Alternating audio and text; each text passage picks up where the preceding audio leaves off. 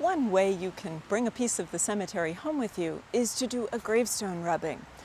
A stone like this is the best choice.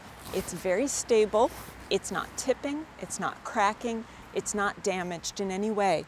And it has this nice granite surface that's very shiny except where the letters and the decorations have been carved in. That will give you a really nice rubbing. If you choose bumpier uh, marble stones, you'll find that you don't get a very good rubbing. So you want to choose one like this and especially make sure it's not damaged, it's not tipping, and that it is a safe one to rub. You also have to be very careful not to rub outside the paper. You don't want to cause any damage to the stone, even if it's just crayon.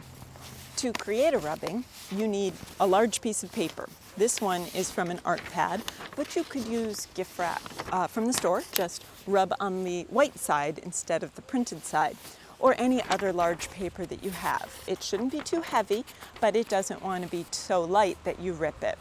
You want to take your paper and carefully fix it in one place on the part of this, the front of the stone. You can use uh, masking tape for this, so be very careful how much you use and make sure you peel it all off the stone when you're done so that it does not rub around and you don't want to leave any sticky residue behind either.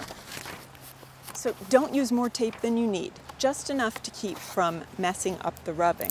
So you're going to start off with a few pieces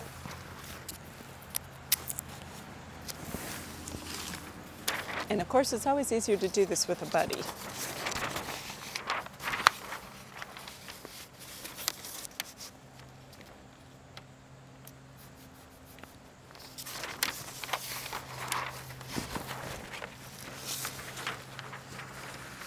It's also best not to do it on a windy day. And of course, you want to make sure your stone is dry.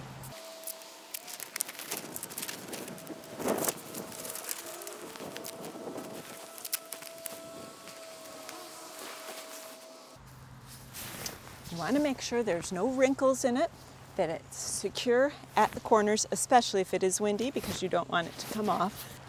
Then once you get your paper taped on your stone, you want to use a crayon. A good sized crayon, like a carpenter's crayon, is great.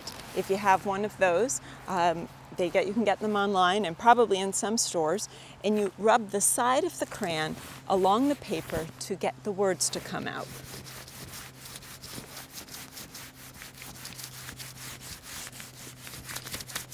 You want to be very careful not to rub off the edge of the paper.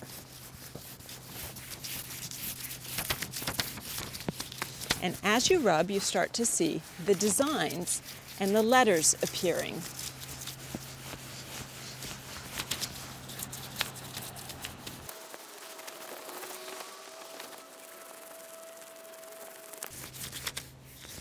You have to be careful where it's really deeply carved because sometimes you can tear the paper, especially if you use the point of your crayon.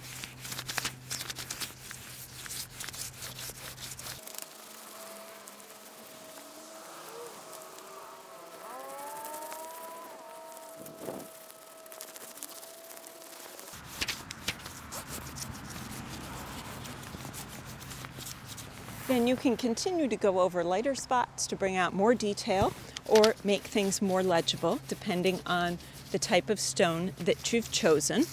And you can see this one has a nice frame around it and the last name, the family name or the surname is right here at the top, Dixon. Underneath we have John B. Dixon. 1812 is when he was born to 1890 when he died.